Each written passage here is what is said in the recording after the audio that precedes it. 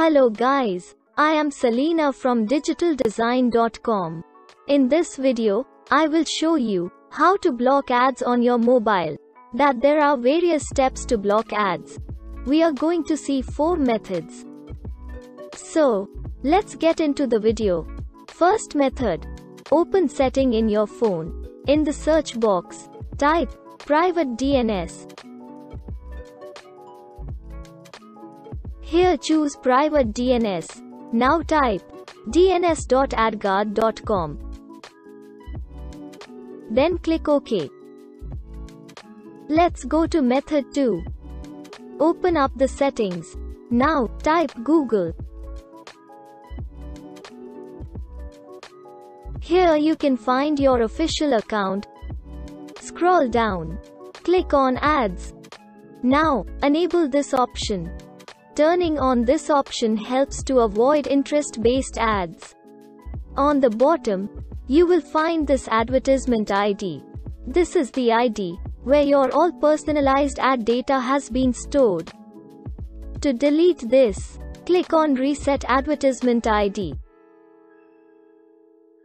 Okay, we'll find a new ID that has been generated. Remember one thing, weekly once you need to reset your ad ID. Okay, let's go with method 3. Open your Play Store. Click on your profile icon.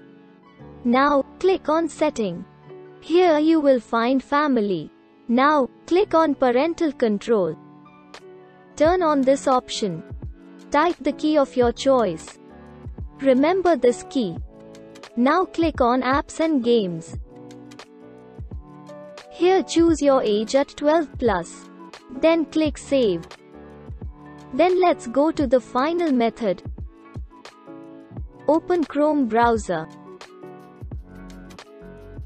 Click on three dots. Scroll down. Click Settings. Now scroll down. Click on Site Settings.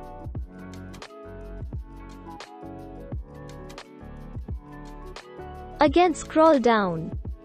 Open pop-ups and redirection. Turn off it. Now click back. Then click on ads. Enable this option to block ads. If you follow these four major methods to block ads on your mobile, 90% of all your mobile ads are blocked. If you wanted to create a free website which is live on the internet, click this video. Finally thank you for watching.